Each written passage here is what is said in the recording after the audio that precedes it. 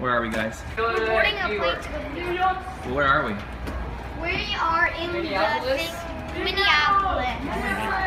Minneapolis. Hey, Raleigh, Raleigh. This is your chance to ride a skateboard down, uh, um, Well, no, in, ride a skateboard into the airplane. I'm just joking, don't do it. I want. Careful. I got card. Card Nice. New York City. Got in the airport. Storm. We couldn't get our luggage forever. Even though we brought only carry-ons, we decided to check into the gate, which was the worst decision ever. Hey, Rollins idea. waiting area for the taxi. New York. What was it like getting here? It was This awesome. was not my boobers. I, I, I, I, I thought there was a mugger in front of us when we were coming out. Lincoln he was was- standing staring at us. Lincoln was terrified that an Uber was gonna be a bad guy. Well, yeah, because he, we didn't wait in the taxi line. But what, where are we staying? What hotel? The New Yorker. Is it cool? Yeah. It's really fast. We have a bellhop. The floors are really fast. I am scared. So we're in Central Park, rowing boats. There I am, and right there is Natalie, rowing boats with the boys. Cardon, is this your first time rowing a boat? No. Well, Didn't yes, you row a boats boat, a boat, A boat. You did I'm, kayaks. I'm better at I'm better at like a like a kayak, you know, where you go. Whoosh, whoosh. I'm better at that. I can go across the boat. Natalie's taking pictures of Raleigh rowing the boat. hey, Raleigh, want to race? Yeah, mama. Hey, you're gonna row into a rock. How did you? Pause it.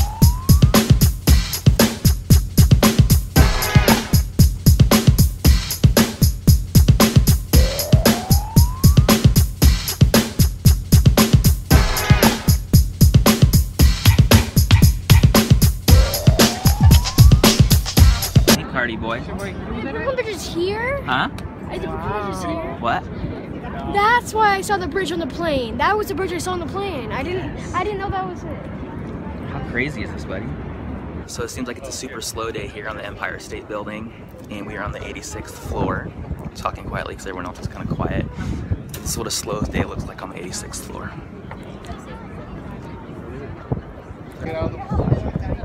And it's like that all the way around. Amazing. So here I am on the 102nd floor of the Empire State Building. Basically no one around. And like I said, it's a small price to pay, but there's room at the top.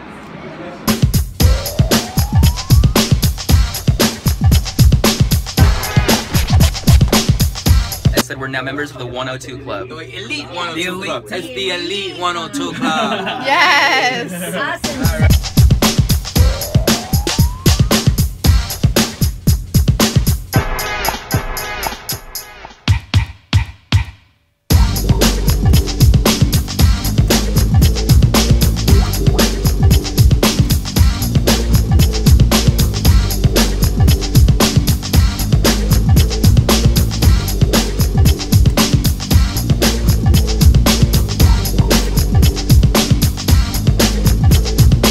know that if you really wanted, you could come to Times Square, have an M&M personalized with your name on it right now.